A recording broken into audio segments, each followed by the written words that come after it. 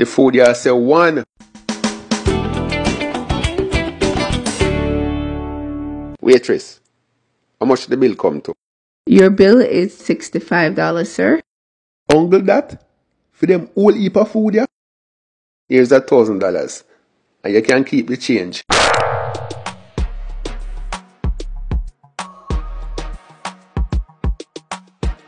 We don't take Jamaican money here, sir. What? Me come in here and yam Jamaican food. Me drink Jamaican drinks and me eat Jamaican dessert. If you don't want Jamaican money, then take down the damn sign out the door where say Jamaican restaurant.